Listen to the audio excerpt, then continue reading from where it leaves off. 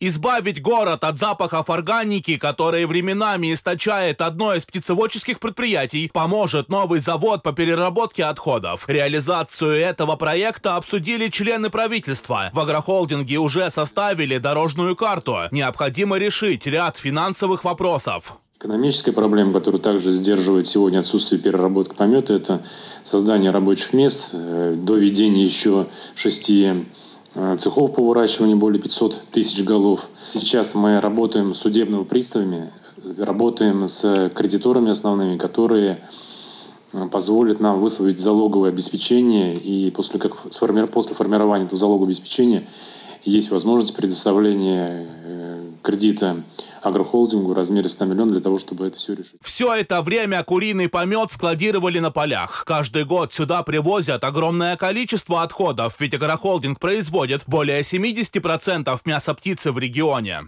На сегодня объем инвестиций в проект агрохолдинга уже составляет 9,6 миллиардов рублей, в том числе 6,6 это кредитные ресурсы, но остаток, понятно, чуть ниже 2,1 миллиарда рублей – это государственная поддержка с 2012 года. Государственные деньги уже потрачены, и совместно с банком, с контрольно-надзорными органами нам нужно решить правильную задачу, э, как решить эту проблему. Специалисты подтвердили, что отходы агрохолдинга угрожают экологии. После обильных осадков помет попадает в пруды и в реку. Из-за этого погибала рыба. Смывается в реки.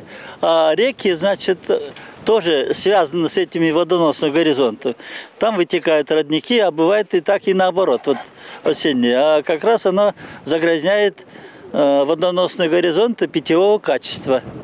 Э, хотя тут скважины глубокие, но э, анализы воды из этих скважин, которые пьет э, население, ну не делает. Глава региона отметил, что решение проблемы утилизации отходов затягивать недопустимо. Строительство завода по переработке куриного помета могут поддержать и в Республиканском фонде развития промышленности. То, что за полтора года э, по сроку он готов реализовать э, производство по утилизации птичьего помета по современной технологии. Вы верите в это? Вариант есть в случае, если сам агрохолдинг предоставит ликвидный правильный залог. Сбербанк где-то пойдет навстречу.